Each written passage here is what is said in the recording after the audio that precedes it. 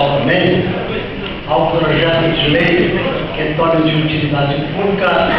o Conselho da cidade de Paulo, é, eh, da região sul. Falamos que nós, como Vicentino, que somos, né, há quase 60 anos, falamos que a gente